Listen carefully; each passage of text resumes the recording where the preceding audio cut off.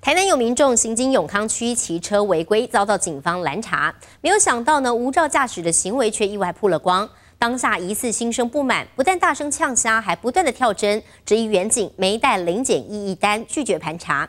对此，警方也提供了密录器画面，还原事发经过。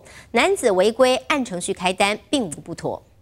你出勤是不是爱查零检异议单？不要紧啊，不要紧。你今麦叫人上来是不是你就违规啊？手机镜头对着远景边拍边呛虾，狂找茬，要维护自身权益。无无违规，你别当叫人上来吧。你使叫人上往死里打，就是要远景把零检异议单伸出来。一样的话，跳针再跳针，而远景火气也跟着上来。我无查，不要紧啊，重点这不是重点吗？说什么也不肯善罢甘休，再撸下去没完没了，只能叫支援。以为能解决，结果没有，男子整个压起来。我问你哦，恁出勤的时阵无在恁检疫单会当叫人上来吗？我问你，无在恁检疫单会当？讲话这么大声，完全没在怕。但事后警方视角也曝光，其实根本是歧视，违规在先。